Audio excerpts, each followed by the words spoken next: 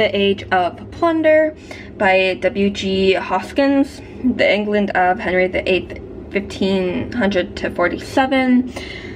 So you get like the face of the country, rural society, urban life, uh, the plunder of the church, and a few other topics.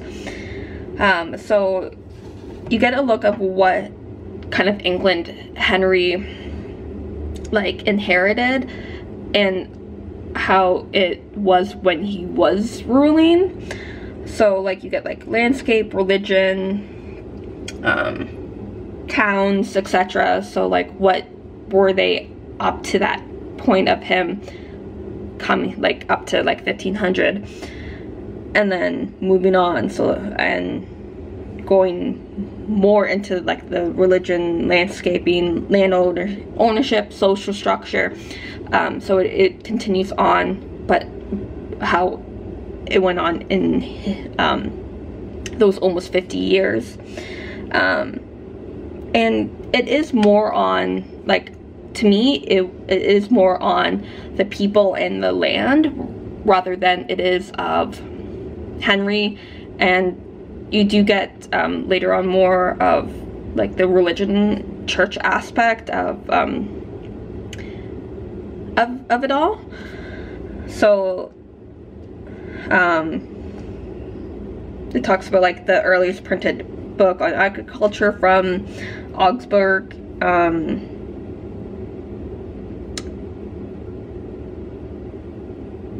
in um, so like framing English towns, uh, urban population and economy, holidays, wages, like what days like um, people would or wouldn't be working. Um, so like um, with the churches, like the bishop's income, estates, monasteries, um, attacks on their lands. Um, so, and then it goes into like different types of um, industry, so like cloth building, mining, metal, and so on.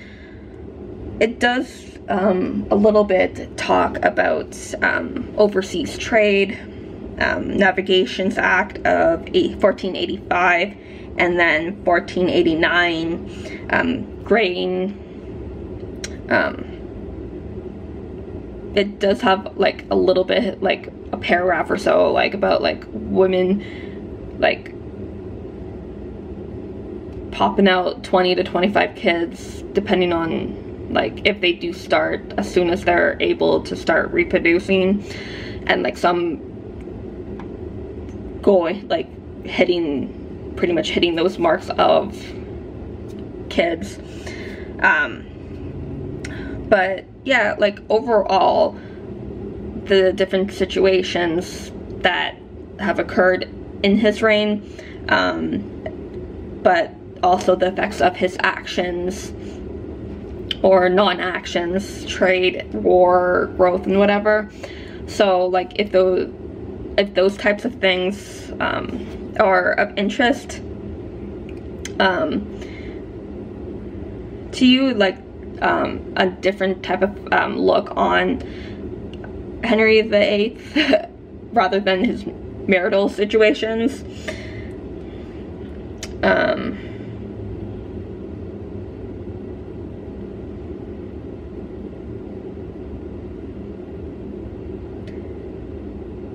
yeah, um,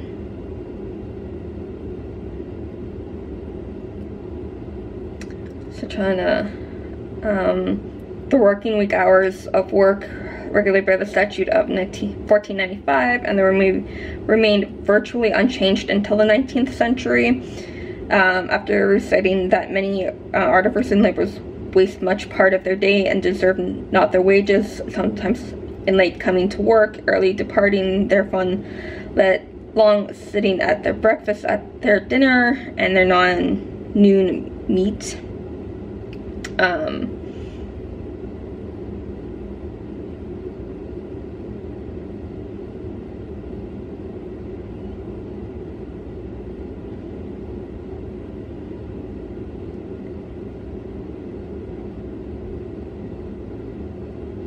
um, commercial war, um,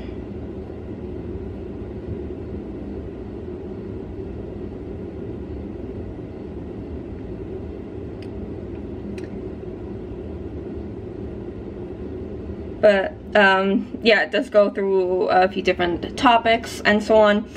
Um, but yeah, if that time and Henry VIII um, has some sort of interest to you, um, this could um, be a decent book to have a look into. So yeah, The Age of Plunder, happy readings.